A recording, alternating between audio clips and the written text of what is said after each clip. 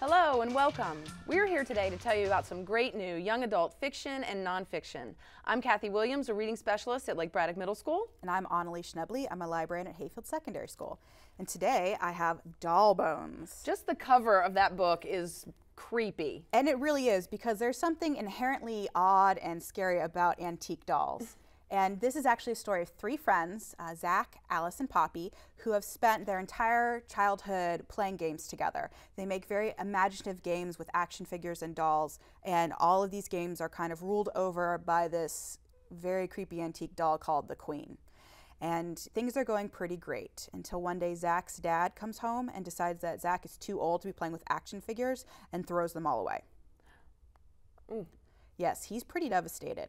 And so instead of telling his friends what has happened, he decides that he's just going to say he's too old for this and he's not going to play anymore. And he kind of starts to shut his friends out.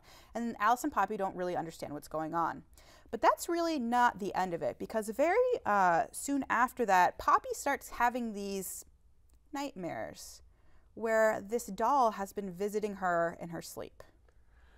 Okay, now I'm not only afraid of clowns, but now I'm afraid of dolls as well. Well, and it gets worse because the doll is actually saying that it is made up of the ashes of a young girl who was killed uh, quite a long time ago. This is getting more creepy. It is, and the doll has telling them that if Alice does not bring the doll back to the little girl's grave, she's going to haunt her and her friends forever.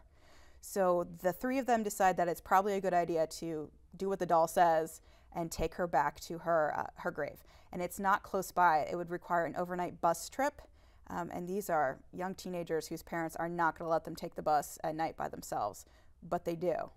And as their journey goes forward, really strange things start to happen. Uh, the first night, they make a camp, and when they wake up in the morning, everything is trashed.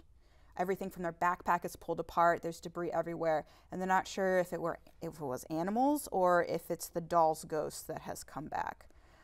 So this is a book to read with the light on during the daytime hours so that you are not creeped out. Absolutely. I made the mistake of finishing the second half of the book starting at 2 o'clock one night when it was dark and no one was home, um, and I could not go back to sleep after that.